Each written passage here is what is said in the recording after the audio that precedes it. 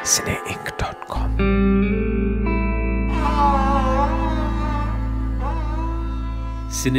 Com पर ये radio मंजिल लंदन है।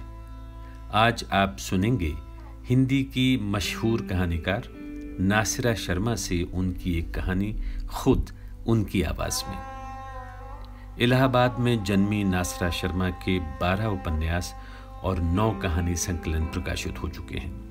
उन्हें उनके हिंदी उपन्यास पारिजात के लिए साहित्य अकादमी की ओर से पुरस्कृत भी किया जा चुका है। नासिरा शर्मा दिल्ली स्थित जवाहरलाल नेहरू विश्वविद्यालय और जामिया मिलिया से संबद्ध रही हैं। हिंदी और फारसी भाषाओं में एक लंबे अरसे आपने काम किया है और अब रिटायर होने के बाद दिल्ली में ही रहती हैं। हाल ही में आपने अरबी, उर्दू, पश्तो और दरी भाषाओं की प्रमुख रचनाओं का हिंदी में अनुवाद किया है, जो बाएँ पसली शीर्षक से पाँच वॉल्यूम्स में प्रकाशित हुआ है। नासरा शर्मा पेश कर रही हैं अपनी कहानी, सरहद के इस पार।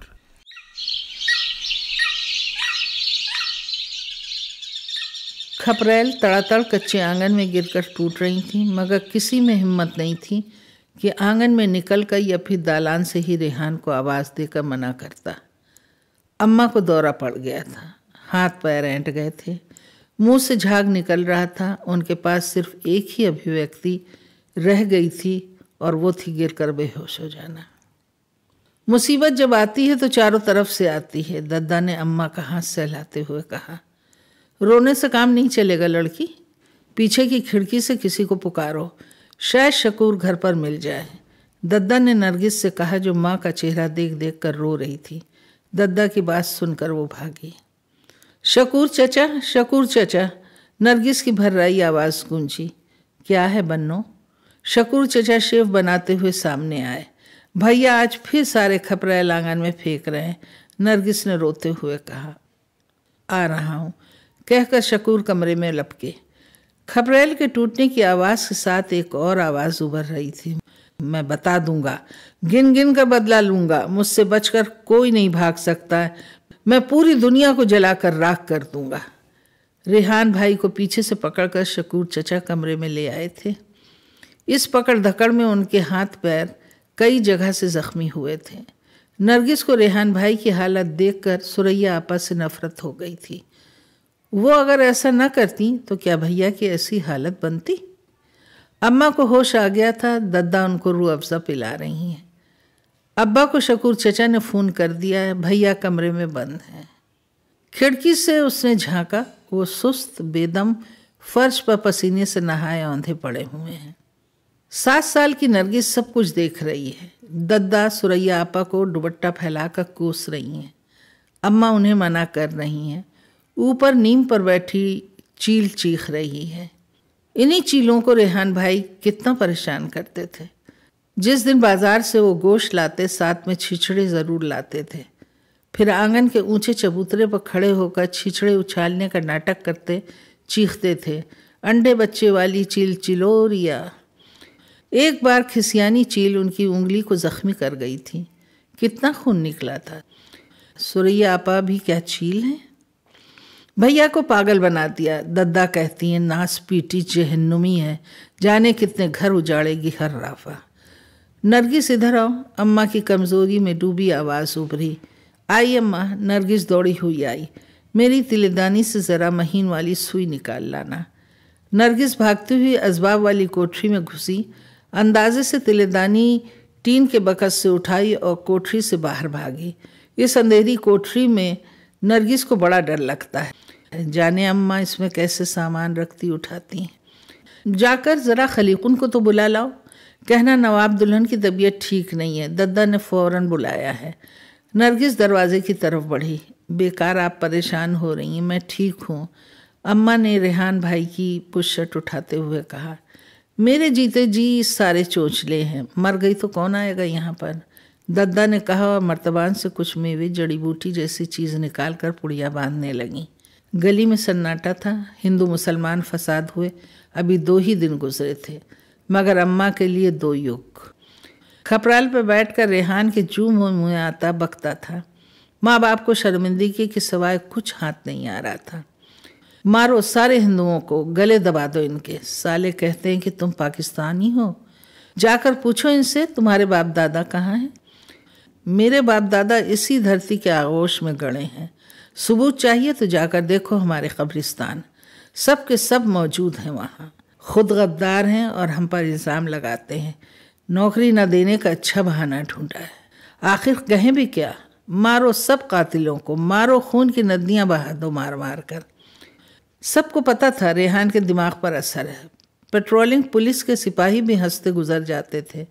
कुछ पागल हैं कहकर थूकते और सिपाही जाने क्या सोचकर सिर हिलाते जैसे वो सब कुछ समझ रहे हों। शकूर कई बार नीचे से समझा चुका था, मगर कौन समझता? पूरा मोहल्ला हिंदुओं का है, सिर्फ़ तीन चार घर मुसलमानों के हैं। गली के पार सारा का सारा मोहल्ला मुसलमानों का है, बात यहीं नहीं रुकी। जब कर्फ्यू ख़त्म हुआ तो जानबूझकर रेहान शेरवानी पहन कर निकला। देखे किस माई के लाल में ताकत है मुझे छूने की। दद्दा ने सर पीट लिया। वो हमें रुसवा करा के रहेगा। भूस में चिंगी डाल रहा है, अगर आग न लगती होगी तो लग जाएगी। दोपहर में वर्मा जी की पत्नी अम्मा से कह गई थी, बहन जी, परेशान न हो। हम रेहान को हमेशा से जानते हैं, अपना लड़का है। उसकी बातों को सब समझ रहे हैं, आप चिंता ना करें। इस तरह से कई पड़ोसी ने अम्मा के शर्मिंदा सरापे को सहारा देकर और दद्दा के हाथों का पान खाकर चली गई थी। अम्मा सुतामू लिए बैठी रहीं, क्या कहती? रेहान ने फ़र्स्ट क्लास में एमए किया था। पाँच साल से नौकरी की तलाश थी। पीएचडी से मन उछटा हुआ था। सुरैया से उसकी दोस्ती बीए में हुई थी। दोस्ती इश्क में बदली, फिर शादी के वायदे में। मगर जब घर वालों को पता चला तो उन्होंने सुरैया से साफ़ कह दिया कि सैयद की लड़की शेखों में नहीं जाएगी। ख़ानदान भी छोटा है औसत लोग हैं। फिर दो वर्ष से बेकार लड़का, लड़की का गला न घूट दें ऐसे घर में शादी करने से। बहुत दिनों तक ये बात रेहान से छुपी रही। मगर जब सुरैया की मंगनी हो जाने की बात उसके कान में पहुँची तो उसे एकाएक यकीन ही नहीं आया। परसों ही तो सुरैया से उसकी मुलाकात हुई थी। उससे ज़रा भी तो इशारा किया हो, अपनी बेबसी पर वो बेकरार हो उठा। सुरैया के घर तो जा नहीं सकता था, घुटता रहा। वायदे के मुताबिक सुरैया जुमे के दिन आई भी नहीं। बेकारी इश्क में नाकामी और बेवफाई ने रेहान को दीवाना बना दिया था। दद्दा का ख्याल था कि सुरैया की फूफी ने रेहान पर जादू टोना किया है। वो बहुत जल्लाद दिल की औरत है। उसने अपनी सौत के गुप्त अंगों को जलते चिमटे से दागा था। ऐसे बुरे लोगों के बीच में रेहान जाकर फंस गया है। जितना रेहान को सुरैया से नफरत दिलाई जाती, उतना ही वो उसके लिए अधिक व्याकुल होता गया। फसाद फिर हो गया, शहर में तनाव बढ़ गया, पुलिस हरकत में आ गई और रेहान बेकरार। ऊपर छप्परों पर बैठा फिर ऑल फॉल बकने लगा, आज उसे नौकरी मिल जाती तो क्या सुरैया की शादी की तारीख तय हो पाती? नारायण जी का जुमला नश्तर चुप हो रहा था। रहते हिंदुस्तान में हैं, मगर सपने देखते हैं पाकिस्तान के। दिल चाह पटक पटक कर नारायण को मार कर पूछे, मंदिरों की मूर्तियाँ डॉलर और पाउंड के लालच में कौन बेचता है? उसकी बातों की हकीकत को कोई समझना नहीं चाहता है। सब उसे पागल दीवाना कहते हैं। कोई नहीं पकड़ता उन गद्दारों को जो शराफत का लिबास पहनकर दूसरों पर कीचड़ उछालते हैं। उसका खून फिर गर्म होने लगा। सुरैया की छत पर उसके कपड़े फैलाकर बुआ नीचे गई हैं। धानी दुबट्टा हवा में लहरा रहा है। छींटदार शलवार व कमीज़ हवा में फड़फड़ा रही है। मारो कातिलों को, मारो मेरे कातिल को। सब ना मर्द अंदर बैठे हैं। कोई नहीं बाहर निकलता है। ये मेरा वतन है, मेरा वतन। देखता हूँ कौन मुझे जीने से रोकता है। हिम्मत है तो आओ, निकलो। एक एक का सिर फोड़ दूँगा। कहकर उसने खपरेल फेंकने शुरू कर दिए। गनीमत ये थी कि दो घंटे के लिए कर्फ्यू हटा था। शकूर चचा गुस्से से कांपते हुए ऊपर चढ़े। बिना कुछ कहे दो जोरदार चांटे रेहान के मुँह पर जड़े और पीठ पर दो घूसे बदतमीज। बेअदब। जो मुँह में आता है बकता चला जा रहा है। धक्का देकर नीचे आँगन में रेहान को गिराया और लाद घूसों की बारिश कर दी। सुरैया सिर पर सवार है। हिम्मत है तो उसके बाप को गालियाँ दो। उससे डरता है, डरपोक। शकूर चचा रेहान भाई को मार कूट कर दद्दा के पास जाकर बैठ गया। उनके चेहरे से दुख और शर्मिंदगी टपक रही थी। मोहल्ले में इसकी बेहूदगी की वजह से नज़रें चुरानी पड़ती है। कमबख्त ने कहीं का नहीं रखा। अभी शकूर कुछ और कहते कि बम के धमाके से वो चौंक पड़े, लपक कर बाहर भागे। आँगन में रेहान भाई औंधे पड़े थे। मुँह से राल बहकर आँगन की मिट्टी भिगो रही थी। नरगिस का दिल भैया के सिर से मिट्टी झाड़ने का चाह रहा था मगर सबके फूले मुँह देखकर वो सहमी बैठी रही। ऊपर नीचे आसमान पर बेशुमार चीले पंख फैलाए, ऊँची उड़ान भर रही थी। बाहर खामोशी छा गई, कर्फ्यू शुरू हो गया था। शकुर चचा ने खिड़की से पुकार कर कहा अम्मा, कल्लन मियाँ चल बसे। अफजल के बनाए बम फट गए। पुलिस उनके घर में है। कल्लन मियाँ की बीबी भी जख्मी हुई हैं और अफजल उसकी बोटियाँ छत की बल्लियों से लटक रही हैं। हाय, कैसा बुरा ज़माना लगा है। दद्दा इतना कहकर रह गई।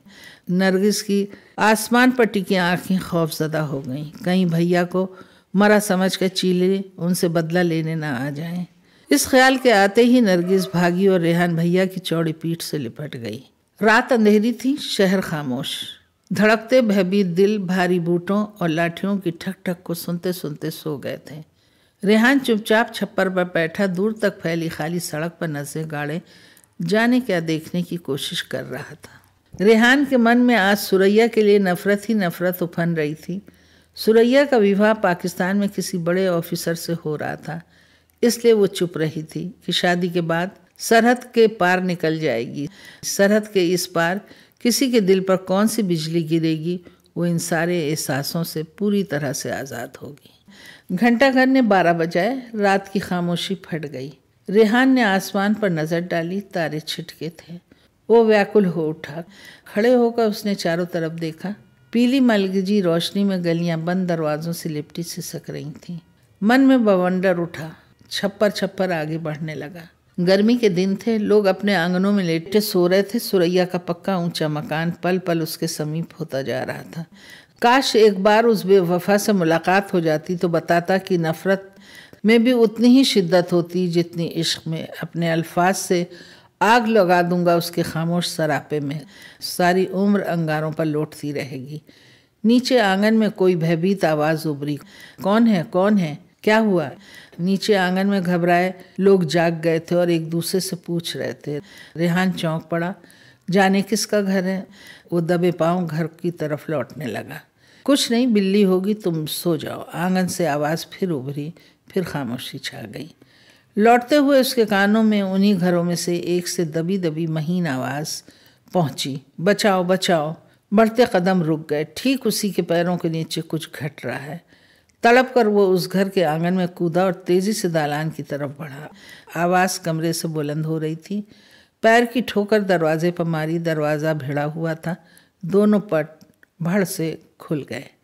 एक लड़की को पकड़े दो लड़के खड़े थे और वो अपने को छुड़ा रही थी। पास ही सूखा सा लड़का बैठा, बीड़ी पी रहा था। क्या बात है? रेहान की आवाज़ से वो चौंक कर उछले और फिर उग्रता से आगे बढ़े।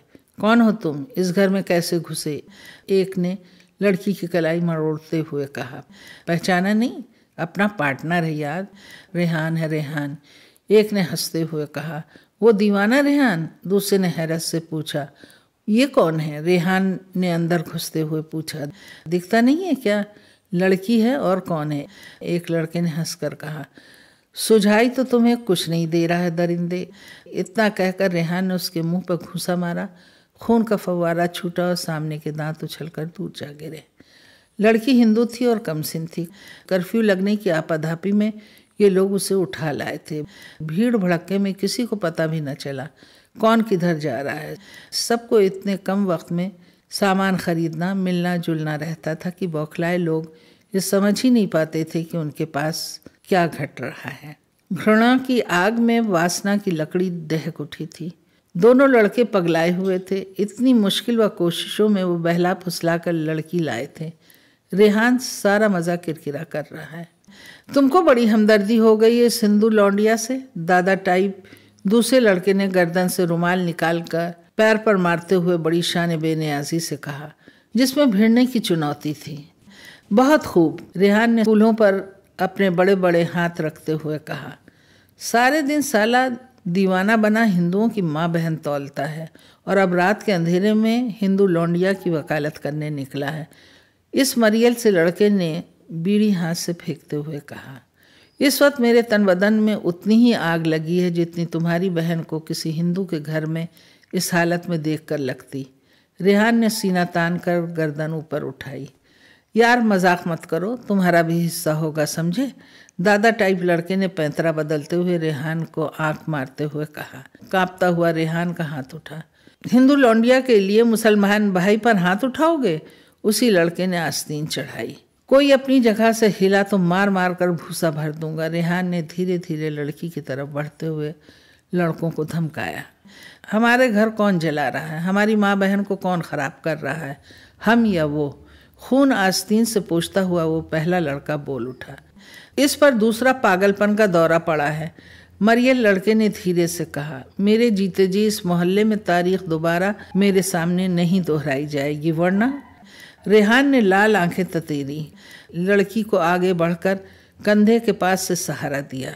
उसे यहाँ छोड़ दो, वरना हम तीन हैं। रेहान ने मरियल से लड़के को एक लात घुमा कर मारी और दूसरों की घूसों से खातिर की। लड़की से कहा कि बाहर खड़ी हो जाए। मार कूट कर उसने तीनों लड़कों को कमरे में बंद किया और लड़की को लेकर कच्ची दीवार पर चढ़ा। फिर लड़की को दोनों हाथों से ऊपर उठाया।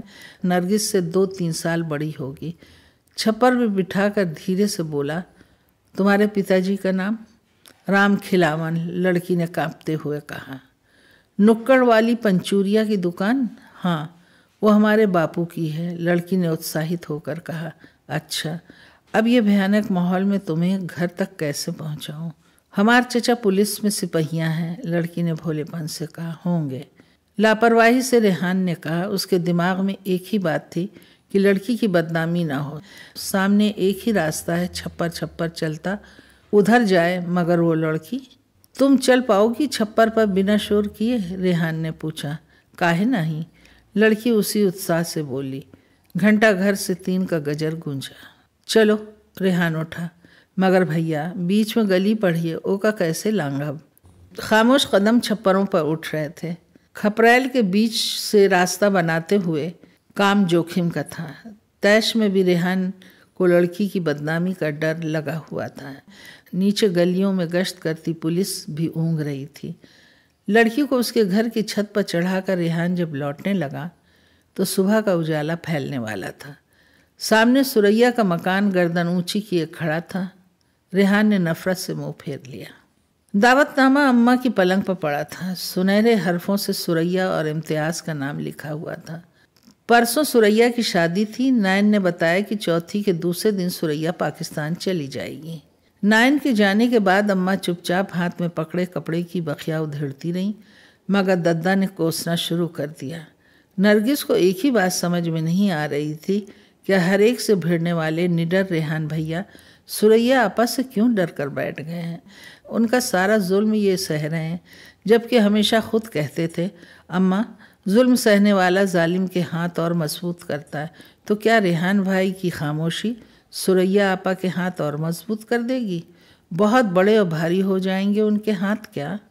उस हर्राफा के सीने में मर्द का दिल है, इस नगोड़े के सीने में लड़की का दिल है। उल्टी गंगा बह रही है। दद्दा सुरमेदानी में सुरमा भरते हुए बोली, पलंग पर सोए रेहान भाई के पास दबे पाँव नरगिस पहुँची। धीरे धीरे उनके बाजुओं पर हाथ फेरा, मछलियों की सख्ती का अंदाज़ा लगाया। पत्थर हैं पत्थर, नरगिस ने सोचा। मुड़कर सामने गई ताकि चेहरे का मुआयना करे। गाल अब भी लाल हैं, बीमार कमज़ोर होते तो चेहरा पीला होता। मुँह पर बैठी मक्खी खकाते हुए नरगिस को इत्मीनान हुआ। क्या है? भाई के पीछे क्यों चक्कर लगा रही है? सोने दे उसे। दद्दा ने नरगिस को छिड़का। आँगन के चबूतरे पर बैठकर नरगिस चुपचाप ऊपर खामोशी से ताकने लगी। नीले आसमान पर पंख फैलाए चीलें उड़ रही थीं। होली जल रही है क्या? हँसते हुए किसी का जुमला उछला। हाँ ख्याल और परवास की होली नहीं, बल्कि चिता कहें। रेहान ने कागज़ के ढेरों से लपकते शोलों को देखकर कहा किसके ख्याल और परवास की चिता है? सड़क से गुजरते हुए किसी ने पूछा, इकबाल, शायर अजीम, जिसने पाकिस्तान बनने का ख्वाब देखा था। रेहान ने किताब के और पन्ने फाड़े और ढेर पर डाले छोड़ले लपके। अरे अरे, रेहान, यार तुम वाकई पागल हो गए हो क्या? क्या इसीलिए सुबह सुबह इकबाल का दीवान मांगने आए थे? परेशान सा परवेश कह उठा, सब घरों से इकबाल को बटोर लाया हूँ। रेहान ने शोलों को ताकते हुए कहा मगर क्यों, परवीज़ ने पूछा। जो शायर दिलों को काटने की बात करते हैं, इंसानी रिश्तों को तोड़ने की बात करते हैं, उनका अदब कोयला है, जिसे छू कर हाथ काले होते हैं और दिमाग तारीख समझे मियाँ परवेज? रेहान ने वहीं गली में उकड़ू बैठते हुए कहा, खुद इकबाल कहने आए थे तुमसे? सलीम ने उसे झिझोड़ा। गली में चारों तरफ़ इकबाल के शेर काला कागज़ बनकर उड़ रहे थे। नहीं, मगर जो कहते हैं और समझते हैं वो ये जान लें कि ऐसे इल्ज़ाम के कटघरे में खड़ा करके कोई उस शायर की शख्सियत के परखचे नहीं उड़ा सकता है। रेहान ने गोद में रखे कागज़ उसमें फेंके। कौन उड़ा सकता है सिवाय जनाब रेहान दीवाने नंबर वन के? इतने अहमक हो गए यार, मुझे मालूम न था। निरे पगले ही हो उठे हो क्या? असलम ने गम और गुस्से से कहा, सुरैया का गम इकबाल को जलाकर कम हो जाएगा क्या? परवेज ने धीरे से कहा, कौन सुरैया? रेहान ने हंसकर पूछा, तुम्हारी महबूबा और कौन?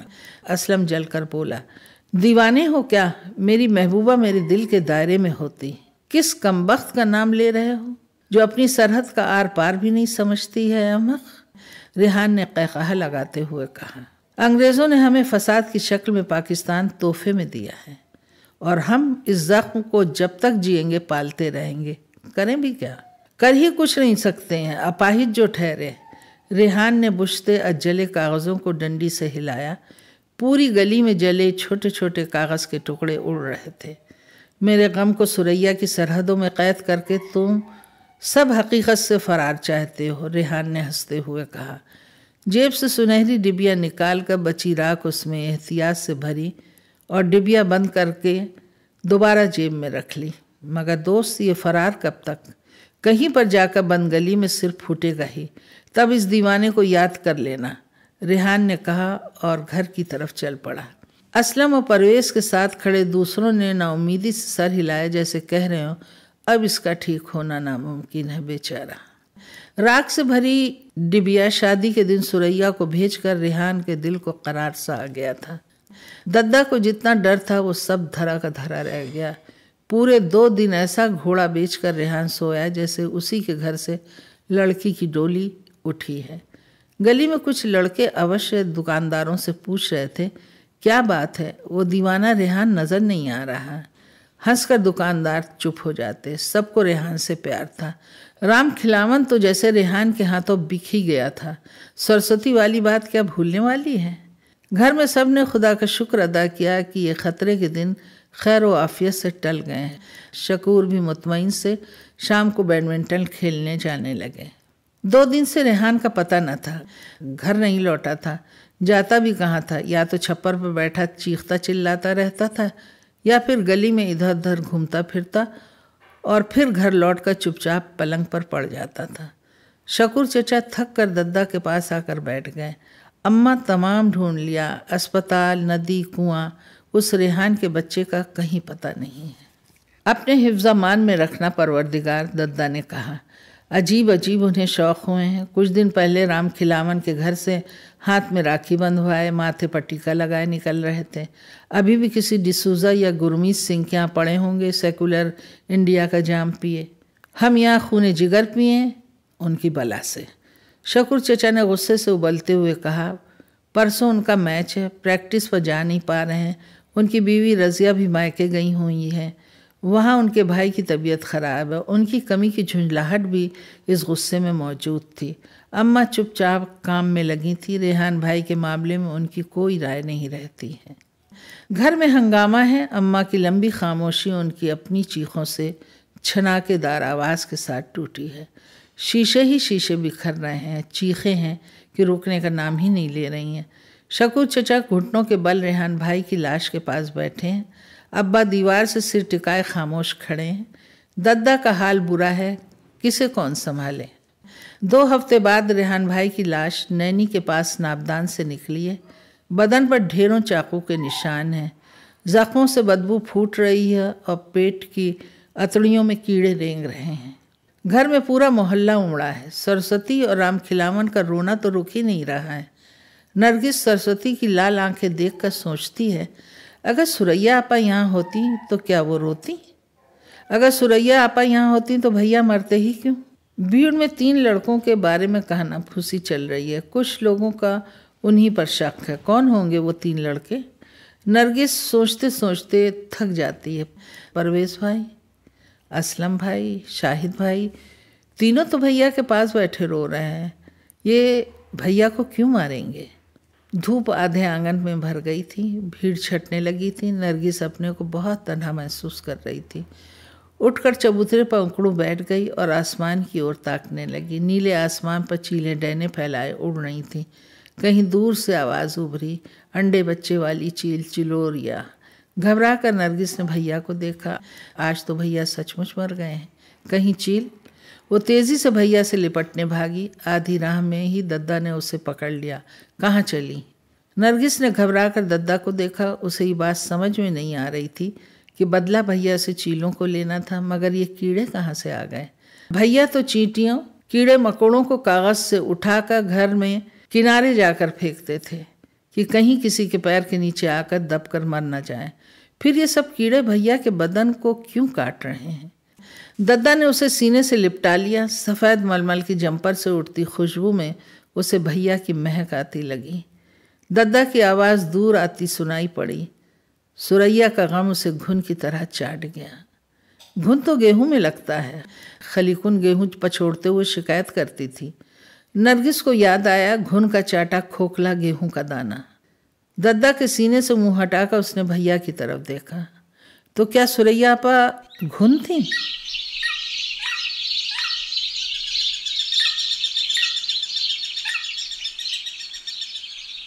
सरहद के इस पार। अभी आप हिंदी की सुप्रसिद्ध कथाकार नासरा शर्मा से उनकी ये कहानी सुन रहे थे। हिंदी और उर्दू की मशहूर कहानियाँ सुनने के लिए हमारी वेबसाइट पर आइए W W W dot cine ink dot com cine ink यानी C I N E I N K cine ink dot com cine ink dot com